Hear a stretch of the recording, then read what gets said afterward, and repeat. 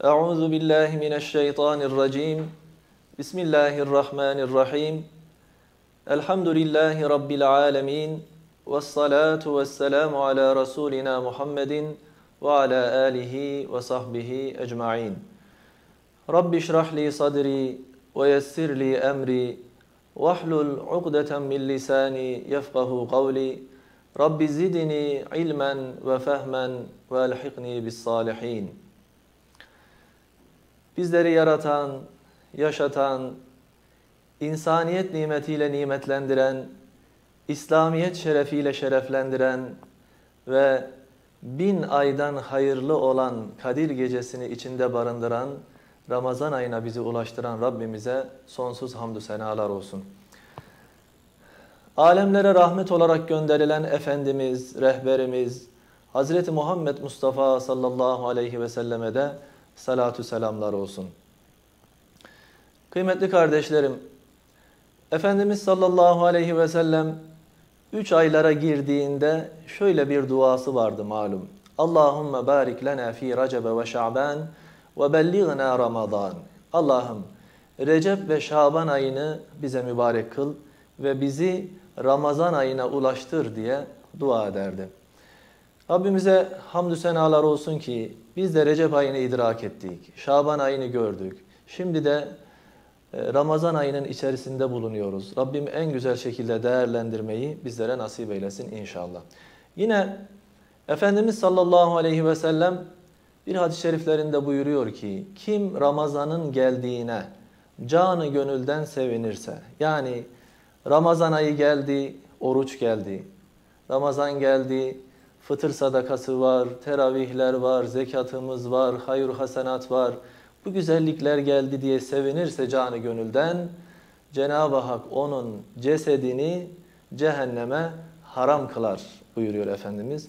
Rabbim bu şereflere, bu faziletlere mazhar olmayı bizlere nasip eylesin. Ramazan ayı içerisinde birçok ibadeti barındırıyor, birçok güzellikleri barındırıyor. Oruçlarımız var, namazlarımız var, teravih namazlarımız var, fıtır sadakalarımız var, zekatlarımız var değil mi? Bizler de inşallah bugün sohbetimizde fakirin hakkı olan, yoksulun hakkı olan zekattan bahsetmeye gayret edeceğiz. Müzzemmil suresinde bir ayet-i kerimede Rabbimiz ve aqimus salah ve atuz zekah ve aqridullaha qardan hasene buyuruyor. Yani namazı kılın, zekatı verin ve Allah için güzel bir hayırda, güzel bir karz-ı hasende bulunun. Sonra devamında وَمَا تُقَدِّمُوا لِأَنْفُسِكُمْ مِنْ خَيْرٍ Siz kendiniz için bir hayır olarak ne yaparsanız, önceden gönderirseniz teciduhu indallahi huve hayran ve azame ecra. Allah katında onu daha hayırlı bir şekilde ve ecir bakımından daha büyük bir şekilde bulursunuz diye bize müjde veriyor. Kıymetli kardeşlerim, zekatın sözlük anlamı artma, temizleme, arındırma manalarına geliyor. Dinimizdeki manası ise zengin olan Müslümanların mallarının bir kısmını fakir olan Müslümanlara, müminlere vermesine zekat diyoruz. Bu manada olan zekat hicretin ikinci yılında farz kılınmıştır. Farziyeti kitap, sünnet ve icma ile sabittir. Kıymetli kardeşlerim, zekat İslam'ın beş temel rüknünden birisidir. Kur'an-ı Kerim'de Cenab-ı Hak her zaman e, zekatı namaza arkadaş kılıyor. Nerede namaz kılınız diyorsa hemen arkasından bakın zekat. Ve akimus salah ve atuz zeka. Müminlerden, müminlerin vasıflarından bahsederken قَدْ أَفْلَحَ الْمُؤْمِنُونَ اَلَّذ۪ينَ هُمْ ف۪ي صَلَاتِهِمْ خَاشِعُونَ وَالَّذ۪ينَ هُمْ عَنِ اللّٰهُ مُورِدُونَ Hemen arkasına وَالَّذ۪ينَ هُمْ لِلزَّكَاتِ فَاِلُونَ O müminler ki namazlarını kılarlar ve zekatlarını da verirler diye hemen arkasına zekatı ekliyor. Efendimiz sallallahu aleyhi ve sellem de İslam beş temel esas üzerine bina edilmiştir. Buniyel İslamu ala hamsin buyurduğu hadisin devamında Şehadete en la ilahe illallah ve enne Muhammeden Resulullah ve ikametis salah hemen arkasına ve itaiz zekah diye zekatı hemen namaza, diğer esaslara arkadaş kılıyor.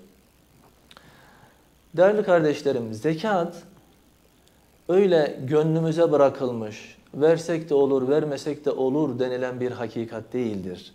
Zekat, müminin malında, zenginin malındaki fakirin hakkıdır. Bakın ayet-i kerimede Rabbimiz وَفِي اَمْوَالِهِمْ حَقٌّ لِسَّائِلِ وَالْمَحْرُومِ Onların mallarında e, miskinler için, ondan sonra ihtiyacı olanların malların o o zenginlerin mallarında hakkı vardır diye Cenab-ı Hak buyuruyor. Yani bizim o malımızdaki o kırkta bir veya zekat vereceğimiz miktar bizim malımız değil, bizim malımızdaki fakirin hakkıdır.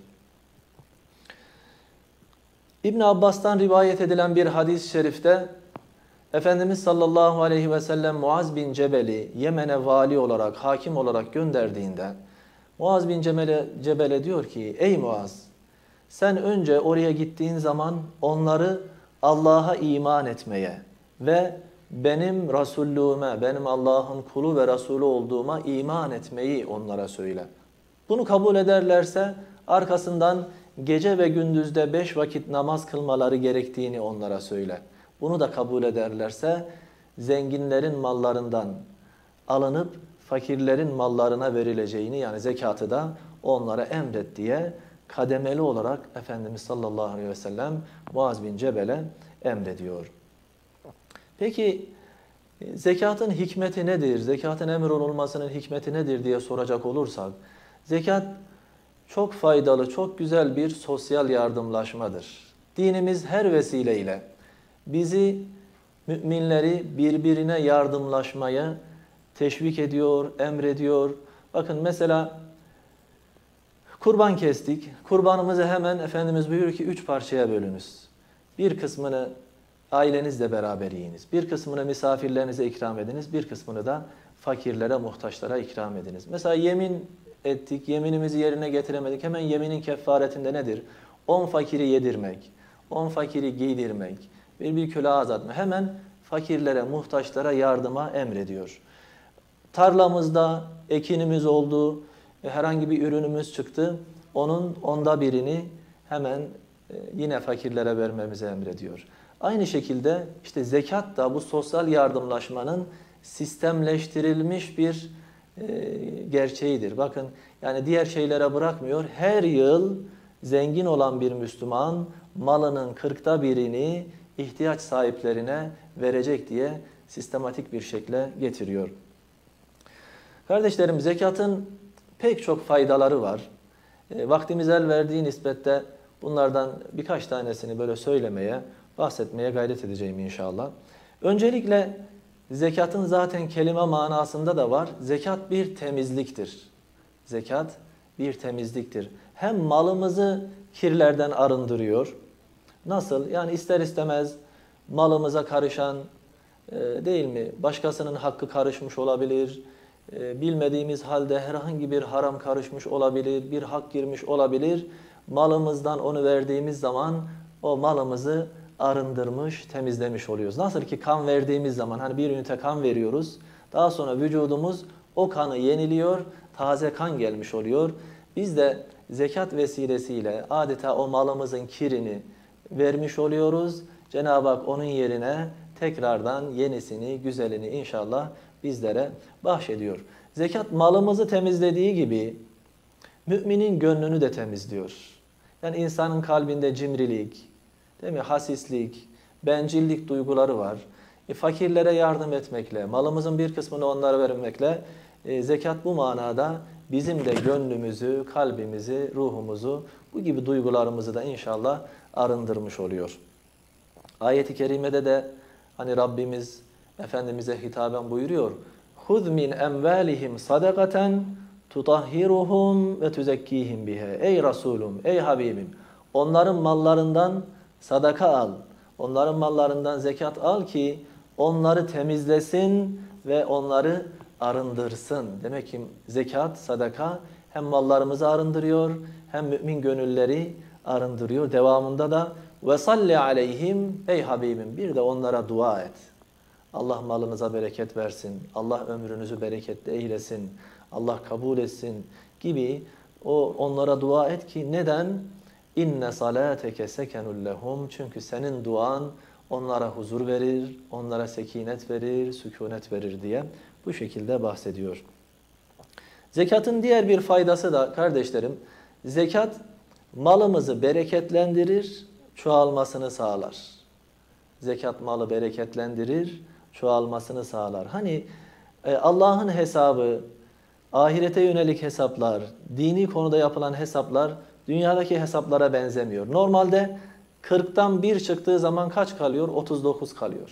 40'tan 1 çıktı 39. Ama Cenab-ı Hakk'ın hesabı öyle değil. 40'tan 1 çıktı o 39 kalacak ama o biri Cenab-ı Hak bazen 10'la, bazen 100'le, bazen 700'le, bazen binlerce rakamlarla çarpıyor. O zaman bizim ne oldu? 39'a düşmedi de e, 1000 eklediğimiz zaman mesela 1039 oldu. Yani hesaplar farklı olabiliyor. Çünkü bakın Cenab-ı Hak ayet-i kerimede buyuruyor.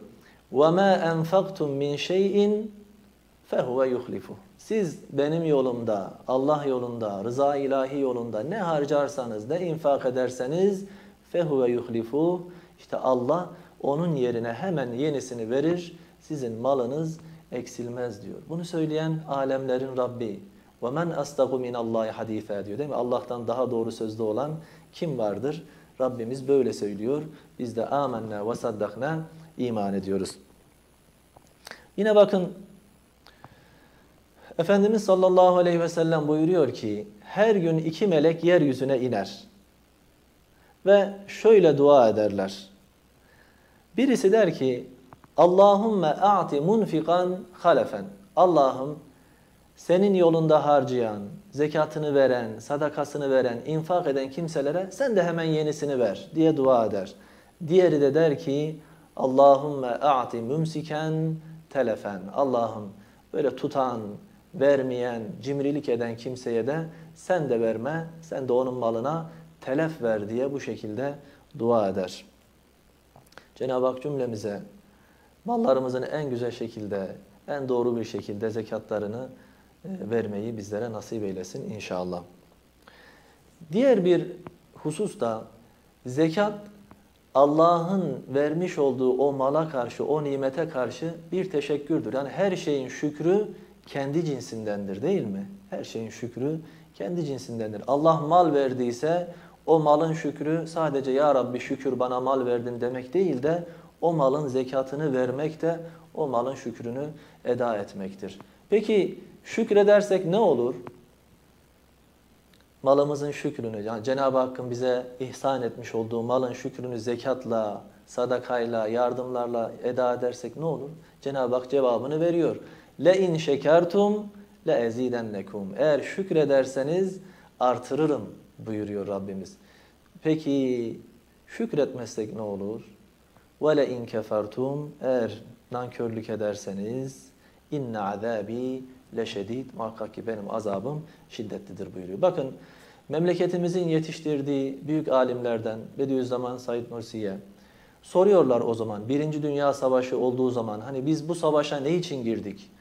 Hangi amellerimizle kader ilahiyeye fetva verdik ki biz bu savaşa girdik diye söyleyince diyor ki cevaben Cenab-ı Hak bizden beş vakit namaz istedi. Biz tembellik ettik, o namazı kılmadık. Cenab-ı Hak onun yerine diyor, bize işte sipere gir, çık, yat, kalk, bu şekilde 4-5 sene namaz kıldırdı diyor. Sonra Cenab-ı Hak bizden yılda bir ay tatlı bir oruç istedi. Güzel bir oruç tutmayı, güzel bir açlık kalmayı, aç kalmayı bizlerden istedi. Biz diyor onu da dinlemedik. Onun yerine Cenab-ı Hak bize 4-5 sene bir nevi oruç tutturdu. Hani Çanakkale Savaşı'ndaki askerlerimizin yiyeceklerine baktığımız zaman değil mi? Sabah yok, işte öğlen hoşaf, akşam yok. İşte sabah ekmek, öğlen yok, akşam yok gibi bu şekilde Cenab-ı Hak bizlere oruç tutturdu diyor. Sonra yine Rabbimiz bizden diyor malımızın kırkta birini, tarlada, bahçede aldığımız mahsullerin onda birini bizden istedi. Biz cimrilik ettik, vermedik. Cenab-ı Hak da diyor 40'ta 30'unu, onda 8'ini bizden aldı. Yani 40'ta bir verecekken, onda bir verecekken biz cimrilik ettik. Cenab-ı Hak da diyor 40'ta 30, onda 8 aldı diyor. İşte Cenab-ı Hak cümlemize verilen nimetlere karşı şükretmeyi nasip eylesin. Şükredersek Cenab-ı Hak artıracak. Ama nankörlük edersek bu gibi musibetlerle Cenab-ı Hak bizi terbiye eder. Ya burada bu tarz musibetler verir ya da ahirette onun hesabını bizlerden sorar ki Allah muhafaza eylesin inşallah. Kıymetli kardeşlerim, bir de zekatın faydalarından birisi de zekat yoksulun ahlakını da olumlu bir şekilde etkiler. Yani Allah muhafaza eylesin. Fakirliğin öyle dereceleri var ki insanı kötü yola, hırsızlığa, e, başka kötü alışkanlıklara, kötü yollara sevk ediyor. Biz zekatlarımızı vermekle, o muhtacın o ihtiyacını görmekle belki de o kardeşlerimizi de bazı kötü yollara düşmekten, bazı kötü işler yapmaktan onları da belki muhafaza ediyoruz. Bir de zekatın bir faydası da kardeşlerim, zekat yoksulun çalışma isteğini artırıyor. Çünkü zekatı alan bir kimse bakıyor ki bu karşıdakinin zekatı verdiği zaman ben ne kadar seviniyorum, ne kadar güzel duygular hissediyorum. İnşallah Rabbim bana da mal ver, bana da e, imkanlar ver de ben de zekat vereyim, bu duyguları ben de yaşayayım diye çalışmaya bir iştiyak hisseder. Bakın ülkemizin yetiştirdiği zenginlerden, hepimizin tanıdığı e, büyük zenginlerden rahmetlik oldu. E, Sakıp Sabancı'nın bir televizyon programında bir şeyini dinlemiştim. Diyor ki biz küçükken e, annemiz bize kumaşlardan pantol dikerdi, pijama dikerdi. Derdik anne bize dik falan kumaş yok. Annem derdi ki diyor Ramazan ayı gelecek. Ramazan ayı geldiğinde zenginler gelecek. Buralara kumaş getirecek. İşte bu şeylerden getirecek. Biz de ben de size çocuklarım bunlardan dikeceğim. Biz de sevinirdik, koşardık. Ramazan gelecek, zenginler gelecek, bize kumaş getirecek. Annem de bize dikecek diye sevinirdik. Sonra diyor gün oldu, devran döndü. Rabbim bize mal verdi, mülk verdi. Biz diyor o köylere gittik, kumaşlar götürdük, pantollar götürdük, yiyecek götürdük, giyecek götürdük. Elhamdülillah diye bu şekilde anlatıyordu. Ben çok etkilenmiştim. Ee, bu gibi faydaları da var. Bir de vaktimiz azalıyor, birkaç dakikam var. Ee, zekat Müslümanın cennete girmesine vesile olur. Bakın Ebu Hureyre'den rivayet edilen bir hadis-i şerifte. Çok zaman duymuşuzdur belki ama tekrar edelim. Bir bedevi Efendimizin huzuruna geliyor. Diyor ki ya Resulallah bana bir şeyler söyle. Onları yapayım da cennete gireyim. Efendimiz buyuruyor ki Allah'a ibadet edersin, Allah'a iman edersin, ona hiçbir şey ortak koşmazsın. Benim Allah'ın kulu Resulü olduğuma inanırsın. Beş vakit namazını kılar, orucunu tutar, zekatını verirsin. E, böylelikle cennete girersin. O da diyor ki beni yaratan Allah'a yemin ederim ki nefsimi kudret elinde tutan Allah'a yemin ederim ki ben diyor bunları yaparım dediklerini bunlardan fazlasını yapmam deyince çekiyor gidiyor. Efendimiz de arkasından tebessüm ederek işte diyor cennete gidecek temiz bir sima görmek istiyorsanız bunun arkasından buna bakın diye söylüyor. Bakın ona ne diyor? Namaz, zekat, yani beş vakit e, İslam'ın beş temel esasını söylüyor. Bunları yaptığımız zaman cennete gideceğimizi müjdeliyor. Peki yapmazsak ne olur? Bakın yine Ensar'dan İbni Hasasiye isimli bir sahabi kendisi anlatıyor. Diyor ki ben Resulullah'a biat etmek için gelmiştim. Elini tuttum Resulullah'ın elini. Ya Resulallah benden ne istiyorsun? Ne yapayım? Efendimiz sallallahu aleyhi ve sellem aynı az önceki dediğim zata dediği gibi diyor ki Allah'a ibadet edersin, Allah'a itaat edersin, inanırsın. Ona hiçbir şeyi ortak koşmazsın. Benim Allah'ın peygamberi olduğuma inanırsın. Beş vakit namazını kılar, orucunu tutar, zekatını verir. Allah yolunda cihad edersin deyince bu zat diyor ki ya Resulallah bütün anlattıkların tamam. Hepsini kabul ediyorum ama iki şey var ki diyor onlar bana ağır geliyor. Nedir diyor? Birincisi diyor e, zekat dedin diyor. Zekat ben nasıl vereyim diyor. O kadar kazandım, ettim, malımdan vermek benim çok ağrıma gider. Ben veremem. Onu benden isteme. İkincisi nedir diyor Efendimiz? İkincisi de diyor Allah yolunda cihad etmek. Ben diyor nasıl gideyim? Nasıl yapayım? Çoluğumu çocuğumu bırakayım, gideyim. Bunu benden isteme deyince Efendimiz sallallahu aleyhi ve sellem böyle ellerini açıyor. Diyor ki zekat yok, cihat yok. O zaman diyor cennet de yok. Zekat yok, cihat yok. E nasıl cennete gireceksin diye Efendimiz sallallahu aleyhi ve sellem bu şekilde söylüyor. Bir de zekatın verileceği yerlerden bahsederken Kur'an-ı Kerim'de hemen değerli kardeşlerim bakın. Fukarai vel mesakin vel amilin aile böyle sayıyor kime verilir kime verir. Bunların başında sadakanın, zekatın fakirlere, muhtaçlara verilmesi gerektiğini söylüyor. Fakat bu konuda dikkat etmemiz gereken bir şey var. Sizleri uyarmam gerekiyor ki fakir demek, muhtaç demek illa bu yollarda, cami önlerinde hani dilenen, el açan kimseler değil. Yani bakın Efendimiz fakiri söylüyor. Diyor ki leysel miskinul lezî yetufu alen nas diye devam eden hadis-i şerifte. Yani kapı kapı dolaşıp halktan kendisine bir iki lokma verdiği dilenci yoksul değil. Yani kapı kapı dolaşıyor. Onlar da bir iki lokma veriyor. Sadece yoksul olan, e, fakir olan bunlar değil. Peki kimdir? Gerçek yoksul kendisine sadaka vermek için ihtiyacı bilinmeyen ve kendisi de halktan bir şey istemeyen iffet sahibi kimsedir. Bazen akrabalarımız içerisinde, bazen arkadaşlarımız içerisinde, bazı komşularımızın içerisinde öyle kimseler var ki muhtaç olduğunu, ihtiyacı olduğunu, yani zekata muhtaç olduğunu söylemek istemiyor, gururuna yediremiyor, bunları gizliyor, istemiyor. İşte bize düşen, bir Müslümana düşen de nedir? Böyle kardeşlerimizi, akrabalarımızın içerisinde, eşimizin, dostumuzun içerisinde, komşularımız içerisinde bulacağız Sadakamızı, ihsanımızı onlara da inşallah takdim edeceğiz ki zekatlarımız yerini bulsun inşallah. Bugün e, sohbetimizde elimizden geldiği kadar zekattan bahsetmeye gayret ettik. Son olarak bir ayet-i kerimeyi de okuyup onunla sohbetimi bitirmek istiyorum. Bakınız Bakara suresinde Rabbimiz مَثَلُ الَّذ۪ينَ يُنْفِقُونَ اَمْوَالَهُمْ ف۪ي سَب۪يلِ اللّٰهِ Allah yolunda mallarını harcayanlar var ya, Onların misali neye benzer? Ne gibidir? Kemefeli habbetin. Bir habbe, bir tohum gibidir ki enbetet seb'a senabile fi kulli sümbületin bi'etu habbe. Bir habbe gibidir ki diyor, o ekildi ve o yedi tane başak verdi. Her bir başakta da yüz tane var. Yani bir taneyi ektik, yedi tane başak çıktı. Her başakta da yüz tane var. Yani kaç oldu? Birken oldu yedi yüz. Birden yedi yüze çıktı. İşte diyor Allah yolunda hayırda bulunan, infakta bulunan kimselerin durumu da diyor bunlara benzer. Bazen Cenab-ı Hak 1'e 100 verir, bazen 700 verir, bazen 7000 verir bilmiyoruz. Cenab-ı Hak buyuruyor vesiyat rahmeti külle şey. Yani Allah'ın rahmeti her şeyi kapsamış bilemiyoruz. Cenab-ı Hak sadakalarımızı, zekatlarımızı, ibadetlerimizi en güzel şekilde kabul eylesin. Şunu da söyleyip bitireyim. Bakın ayet-i kerimede buyuruyor ki وَاَنْفِقُوا مِمَّا رَزَقْنَاكُمْ Allah'ın size verdiklerinden infak edin. Ne zaman?